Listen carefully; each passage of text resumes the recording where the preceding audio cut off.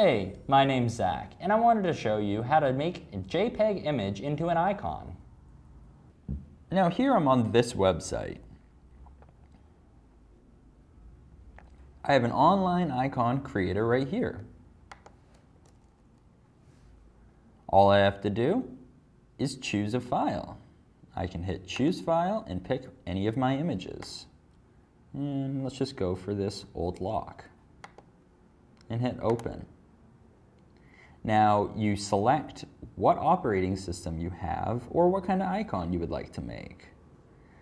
I'm in Windows 8, so I'd select that one. Next, all you have to do is hit download. And as you can see here, it says save your icon to a folder of your choice. This is actually a really important step. You don't want to lose where your icons are. Also, if you move it to a different location, once you've made it an icon, it'll no longer stay with that file once you restart again. So, all I have to do is click this button here and hit show in folder. And I'm going to move this to my desktop. Now it's time to move that into that common folder.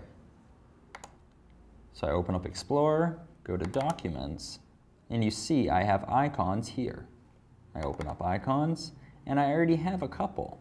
You can see I have a robot here and a robot here, because that's my icon file. If I double click, you can see it's actually a folder. So I would take this icon and move it into my icons folder. Now all I would have to do to make it an icon is right click, go to properties, customize, select change icon, select browse, and select the lock that I just made. Hit open, OK, and apply we say OK again, and it changes our icon right away.